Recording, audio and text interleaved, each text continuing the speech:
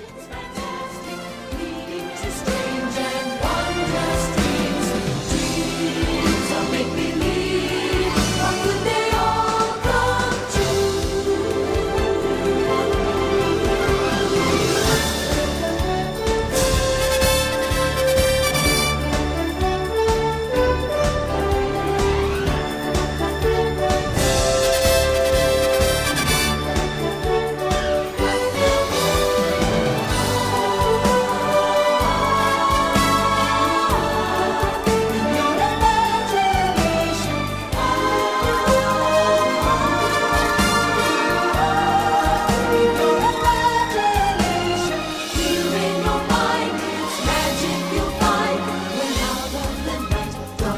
voices ignite to find you with brightness.